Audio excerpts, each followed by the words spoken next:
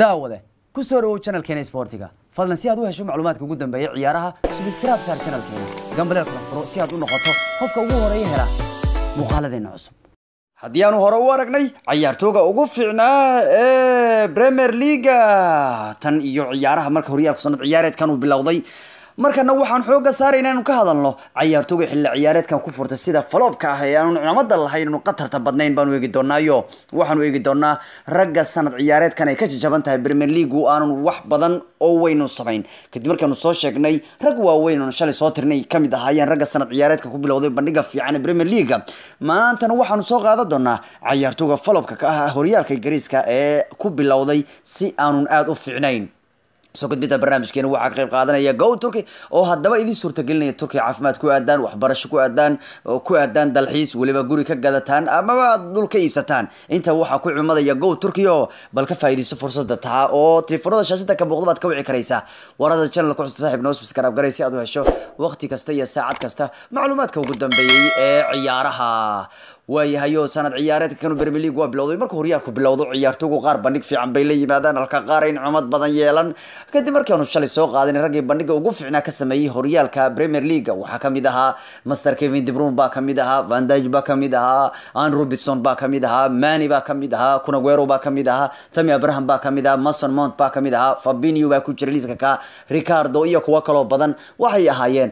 Ragga bandhiga ugu fiican xilli ciyaareedku ka sameeyey premier league kulmadii sideed ee la soo ciyaaray raggii ugu fiicnaa bay ahaayeen. Kadib markii aanu soo sheegnay kuwii ugu fiicnaa premier league ee bilowgii xilli ciyaareedka sideedii ciyaar ugu horeeyey bal markaana waxaanu soo qaadan doonaa ragga faloobka ah ee aanun cimaamada lahayn ee aanun qatarta badnayn ee premier league ka ciyaara baanu soo qaadan doonaa. Xilli ciyaareedkan bandhigoodu uu aad u liita baanu soo qaadan doonaayo.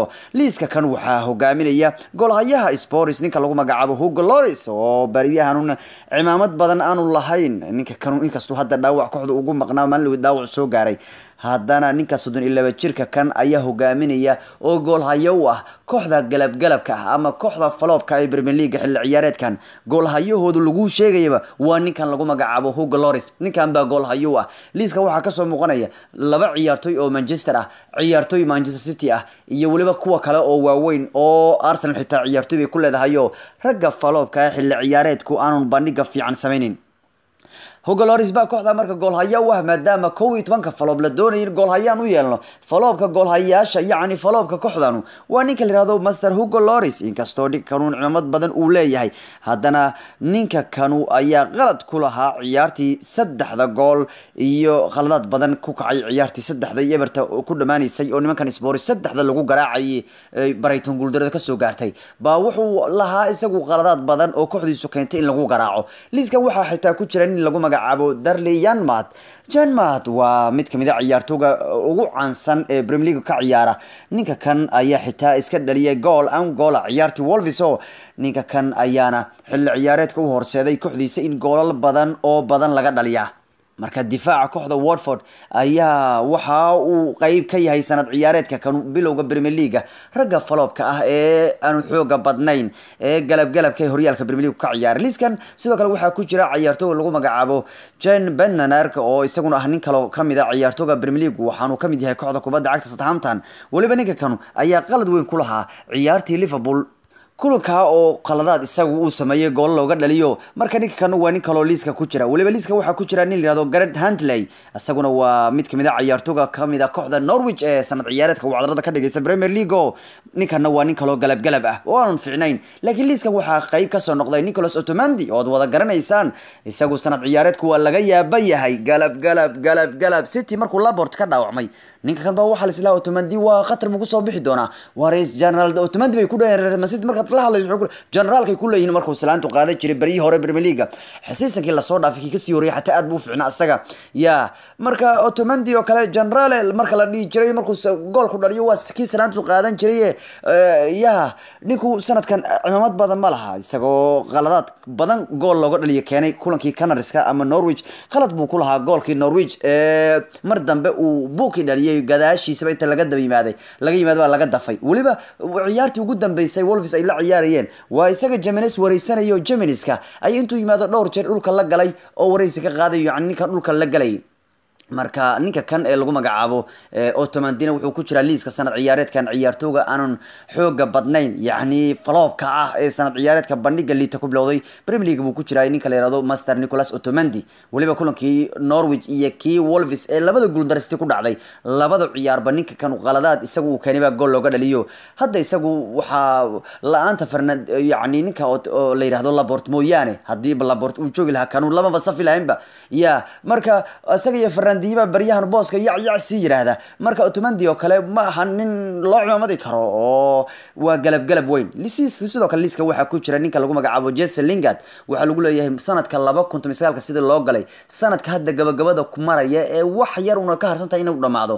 Waa ninka aan hal caawin iyo hal gool midna aanu ka dhalin. Horyaalka kan ee weyn ee premier leaga marka isaga waxaa lagu tiriyaa faloobyada premier leaga waliba xilli ciyaareedka kanu ninka kanu wax bandhig fiican oo lagu qanci karo. Ma haysto waliba taageeraash waxay ku leeyihiin warkan intaad ka sixi leeyihiin heshiis cusub bay ku leeyihiin warkan waxaa dhaantay ku leeyihiin inaad mataqaanaa iska iibisaan oo heshiis cusub laga sixinba still weli gool ma caawin welina gool ma dhalin. Weliba kooxda soljer dhibaato weyn bay dhexda ku jirtaa. Waxba kama qaban kariyo midka kan iyo waa habeenkan uu iska orordayaayo beedbe intuu ku orday xagga ku orday hadda waa iska orordayaa mooyaane. Cimad badan ma laha oo linkadkana wuxuu ku jiraa baa lagu leeyahay liiska ciyaartooga amaahda ah.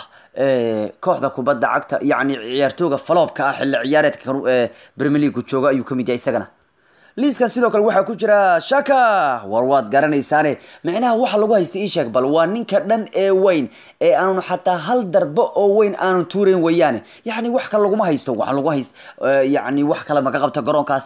Warniyahood waxaad leedahay darbad xoog badan haddaad ganto saariiq ah oo waxba ka qaban karin. Degay baad ku tuurtay kuwii goosh ugu jira baad hadda koor ku tuurtay.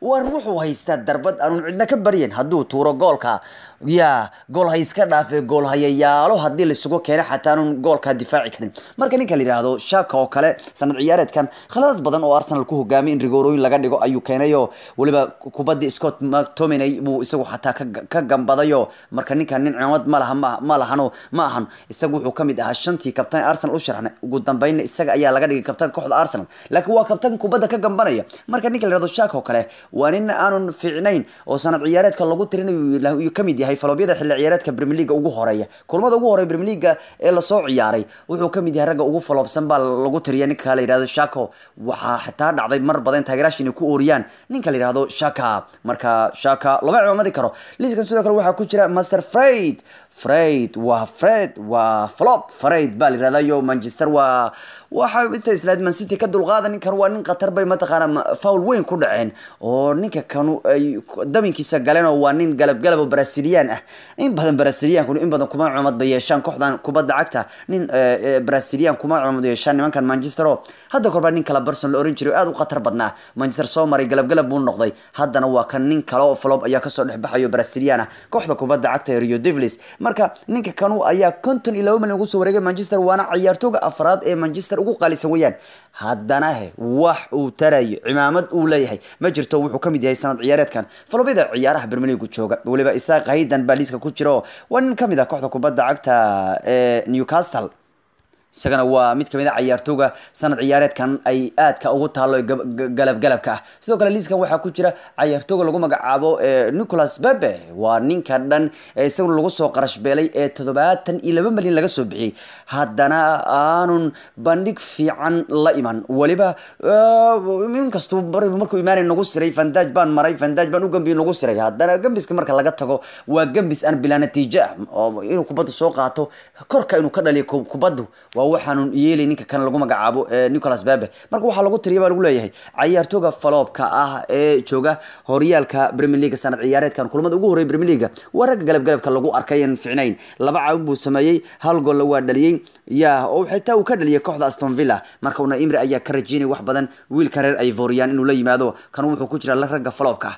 Sidoo kale liiska waxaa ku jira ninka la yihahdo moso kane baa liiska ku jira wiil laga soo qaatay juventus weeyaan everton ka mid ah. Isaguna bandhig fiican lagama hayo wiilka sagaal iyo toban jirka ah waxaana lagu tilmaamayaa inuu yahay lazy. Inkastoo loo arkayay markuu juventus ka soo tagay inuu nin khatar badan ku soo baxayo laakiin halkan galab galab buu ku noqday.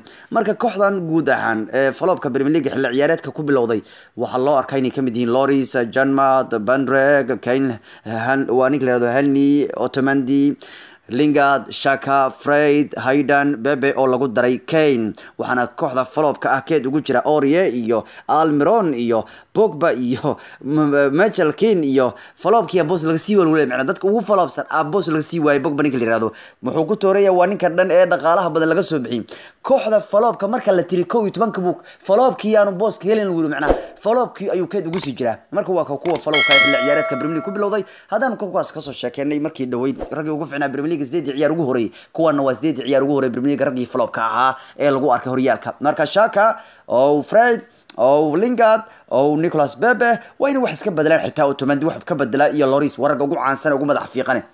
Qaab ciyaareedkoodu waa in wax badan ay ka bedelaan